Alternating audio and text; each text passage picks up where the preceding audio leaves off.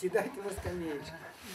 70-летнюю годовщину совместной жизни отпраздновали супруги Мельник в селе Стурзовка Гладянского района. Платиновую свадьбу они отметили в кругу детей, внуков и правнуков. Поздравляем вас с днем свадьбы, желаем вам счастья, здоровья и долголетия. Поздравляем, молодых, как мама вам принесла на свадьбу, так и мы, чтобы вы вместе в Чтоб тепле, вместе под одним одеялом. 70 лет.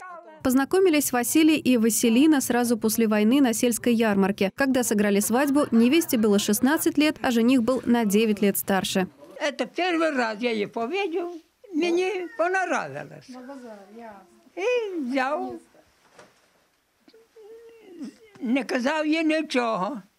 Василина говорит, что ради семьи отказалась от карьеры. Она мечтала стать учительницей, но родители решили иначе. Та це дуже. Я ходила у школу, то він мене з школи взяв. Родителі так сказали, все, ми сказали все. Колись так було, що сказали родителі, хочеш, не хочеш. А він вже був старенький. Супруги говорят, что секретом их семейного счастья всегда были уважение и взаимопонимание. Було і добре, і плохо.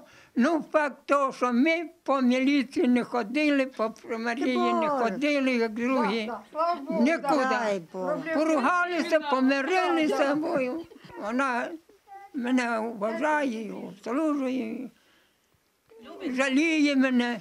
Дети и внуки считают, что их пример достоин подражания. Отец наш приходил с поля, никогда с пустыми руками не приходил. Или арбузы принесет, или виноград, или грибы соберет, или рыбу поймает. Мы учимся строить отношения в семье. По их примеру, сколько лет, э, с- 70 лет совместной жизни, мы всегда э, приходим, советуемся, как э, строить отношения, как разговаривать, как, э, э, в каких ситуациях семейных можно как поступить.